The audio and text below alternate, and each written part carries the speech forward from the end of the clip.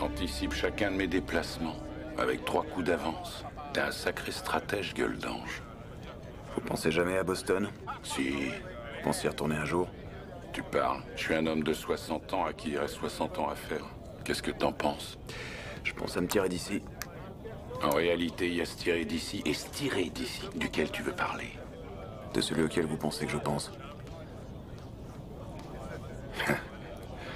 Ça fait que trois jours que t'es arrivé et tu penses déjà à te faire la belle, tu perds pas de temps.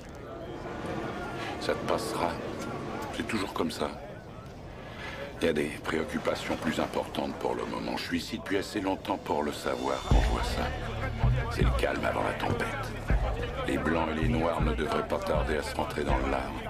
Tout le monde va choisir son camp, il y en a pas mal qui vont saigner, crois-moi. Pour quelle raison?